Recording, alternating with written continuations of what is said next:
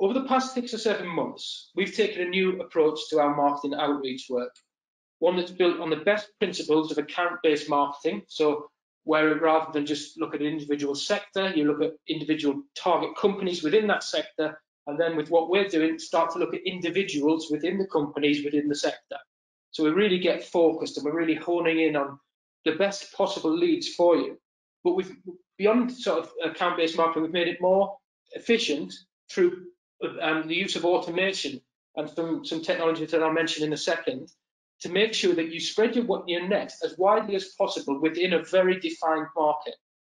Um, and this is what we do. We, um, we've been running campaigns across digital media channels. So PPC, for example, display, social, email, and using data from a client's CRMs, from Lead Forensics, which is an incredibly um, useful platform that we're using at the moment, and LinkedIn, specifically LinkedIn Sales Navigator, to build a list of key target companies and enable one-to-one relationships directly with decision makers, influencers at those companies. So how do we get to those decision makers and influencers in the right companies? Well, typically they, they have a, a sort of typical organization, a very skeleton um, diagram of an organization. And when traditionally you start your marketing campaign, you might think, right, these are the two most important people within the organization that I really want to focus on. I want to focus on maybe the MD and maybe the CMO. Brilliant, we'll go for them. But if you go for those two people, you're literally narrowing the net down to two at, at very best. And that gives you a, a huge um, failure rate potential. I mean, sometimes you probably also might think about product managers, marketing managers, and sales managers. They could pr prove valuable for you. So you've got a potential target audience within the organization of five. However, when what we've been doing is looking broader than that.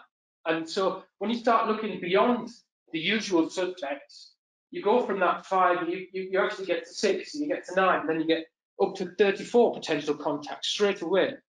And we're finding that's incredibly useful and valuable in in the effectiveness of our marketing. Here's an example for you. Um, this was a bit of research we did when we were developing a marketing campaign for one of our clients. Um, one of the target companies we identified was Jo Malone. Um, we were going to target them with LinkedIn advertising, Facebook, display, direct mail, email, and we were going to supplement that with automated LinkedIn outreach from the sales representatives within our client's company to key decision makers at Jo Malone. And that would be about profile views, profile interactions, we would do some initial automated outreach, some connection requests, and create some initial collateral that they could engage with. And by doing that, looking at Jo Malone, this the the, um, the sector was packaging. So initially there was one packaging contact at Jo Malone. However, using LinkedIn Sales Navigator and setting the correct parameters, we immediately, within seconds, identified all of these different people who have some part to play in the decision-making buying process relating to packaging at Jo Malone. And with the, system we've got created, where we're doing automated outreach on behalf of the, the client sales team via LinkedIn Sales Navigator, just a very light touch, would you like to connect? Here's some content. And then also supplementing that with some advertising that appeared in the feeds of all of these people, some content, some posts that we could see, that they could see.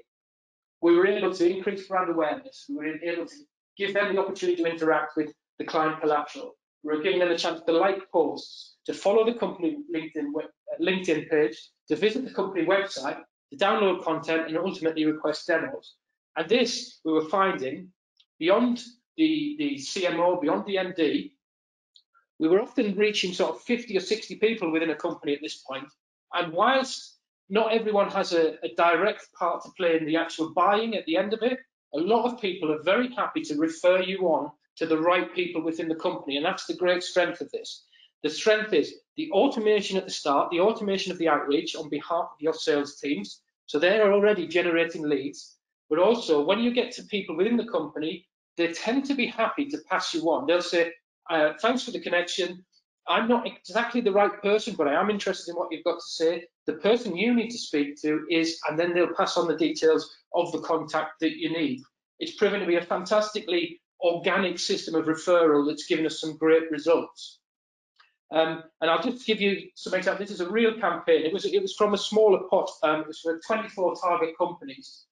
Um, now, by doing the marketing automation, uh, the the LinkedIn automation, sorry, as long as, uh, along with the targeted advertising and the content sharing and the liking of posts and sharing of posts, all of that, we managed to reach 100% of the 24 companies, all of the companies we reached.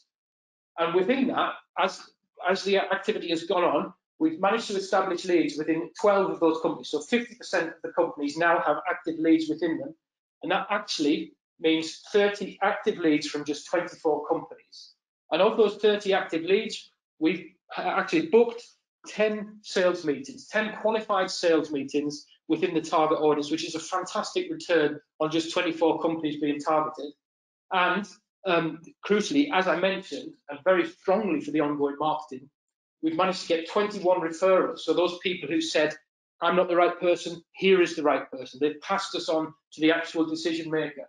So overall, the message to response conversion has been a rate of 9.8%, which is pretty much unheard of um, in terms of direct marketing outreach lead generation.